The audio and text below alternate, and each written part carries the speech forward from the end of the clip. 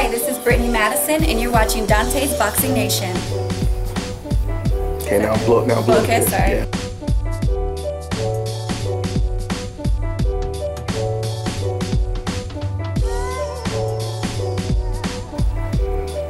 Hi, I'm Brittany Madison, and you're watching Dontae's Boxing Nation.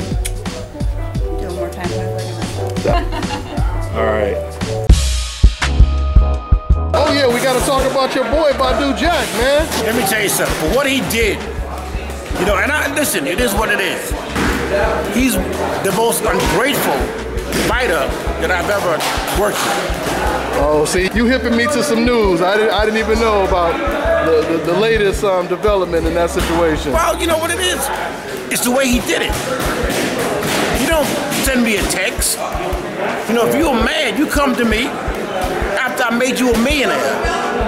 Then you're gonna come, you don't even come to me. That's how much heart he has. He's a mm-hmm. coward. Mm. And if he was here, I'd say it to his face, he's a coward. Yeah. Bottom line. Wow. You know, I'm a man. If I got something to tell you, I'm gonna come to your house. And I'm gonna tell you. If you don't mm. like it, you can't do nothing about it. You know what I'm saying? And he's not a man. Immediately following the last fight, or No, I was working with him for this fight coming up. oh, you are, oh, you We was started working already. Say nothing. Great camp. All of a sudden, like I said, I get a text. You know, and it was a the text. It says, "Listen, you know, I love you, blah blah blah. But I, I don't know how to tell you this, but you know, I'm going to terminate you." I didn't mind the termination. I mean, it happens to, to the best trainers in the world. Don't send me no text.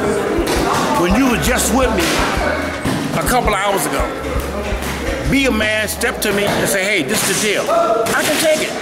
Listen, I make champions. That's what I do. I made him a champion. Mm-hmm. He would have never become champion if it wasn't for me. You know, he wouldn't have become a millionaire if it wasn't for me. But I make millionaires and I make champions. Mm-hmm. So one is gone, I got another one coming up. You know what I'm saying? So I don't, I don't really worry about that. It's just the fact that the way he did it. Yeah. And yeah, like I said, I didn't even know until you just hit me to it right now. So who's he working with now? Uh, Louis Del Valle, that's the, the second guy in charge. Uh-huh. Listen, Oh, so he's still here in the gym.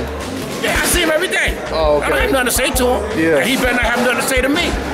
But then we got to take it another another level. Mm-hmm. And he don't want to do that. you know what I'm saying? So I come to the gym, put my work in with my guys, and I'm straight. Yeah, yeah. You know, but again, uh, like if he sees this tape again, you're a coward.